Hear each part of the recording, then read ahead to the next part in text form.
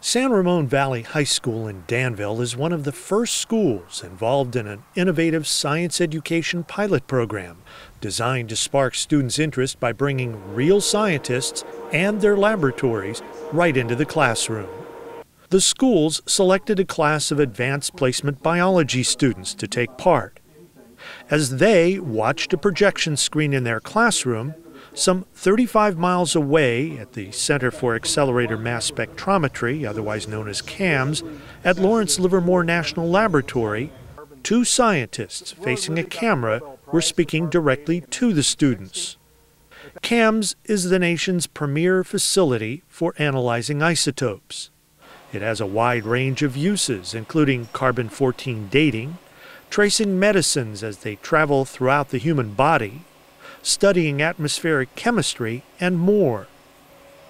The idea here is to take the students inside this facility, which is not normally open to visitors. But more than that, it allows them to interact with the scientists. And we're going to be pretty open about questions. You can talk about the technology, you can talk about the science, you can talk about the careers and other opportunities. And the scientists are able to see and hear this introduction. The output from a relatively small camera unit, which is mounted at the front of the classroom, shows up in front of them and allows them to interact easily with the students. So I'm holding a piece of wood, a branch from a tree, and I'd like somebody on your end to tell me where the mass of this tree came from. What makes up the mass of this and where did it come from? Let's see all those hands go up. Someone up right here. Real quick. Atmosphere. Very good. The atmosphere. It's amazing how many people, even, even people who have science degrees, think this came out of the soil. After the students get an introduction to the subject of how the accelerator can be used to do carbon 14 testing, it's time to actually show off the high tech equipment and explain its components. Even here, the emphasis is on interactivity.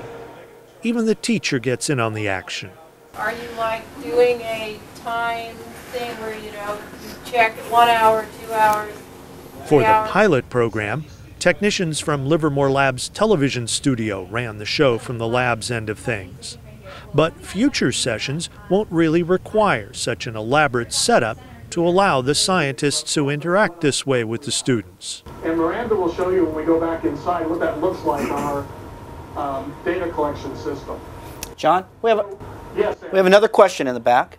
Uh, yeah, yeah, how sure. did the hydrogen get introduced to make it um, uh, um, C, um, CH uh, with minus?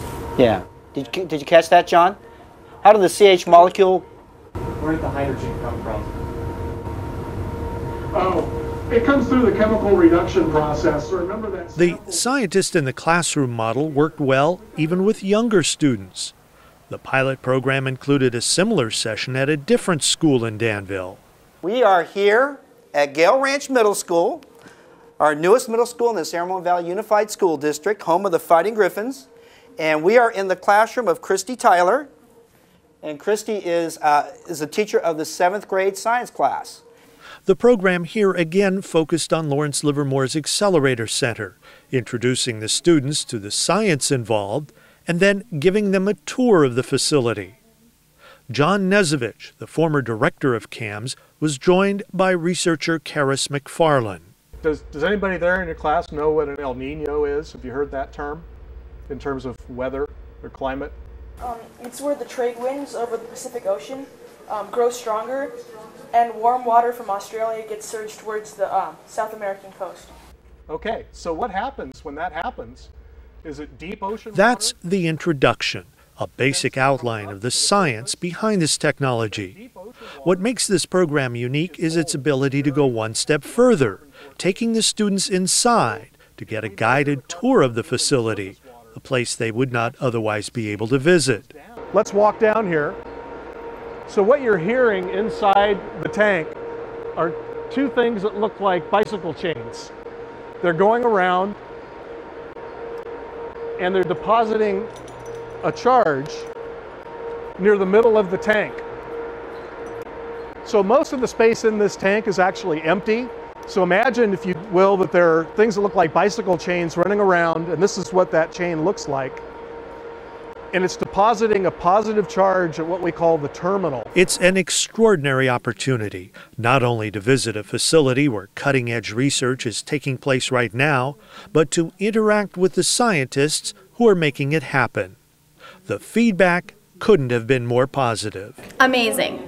It helped me reach my goal in this classroom, which is to bring my class to life. So you guys brought science into my classroom, which opened up the walls. Our classroom is now way beyond the walls of this classroom, which is all that I could ever hope for.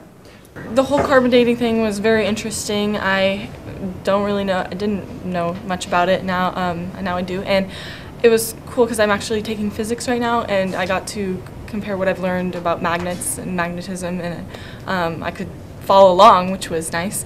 It definitely op- opens up the possibility of talking to people from different laboratories who aren't as near as Lawrence Livermore, which is only like 35 miles away. We have the possibility to talk to people at major research institutions like universities and uh, people doing really cool uh, research projects that might pertain to ours, might not, but might just be you know worth talking to. And I thought that was really cool. So thank you so much. I think this was a success, and uh, we look forward to doing more and more of this type of work. And you know, once again, we can't say thank you enough.